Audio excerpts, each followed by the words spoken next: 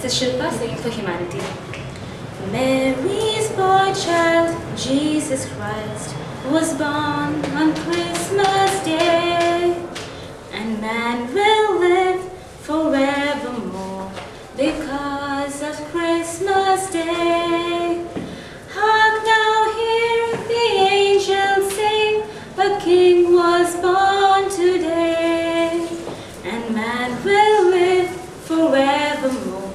Because of Christmas Day. Mary's boy child, Jesus Christ, was born on Christmas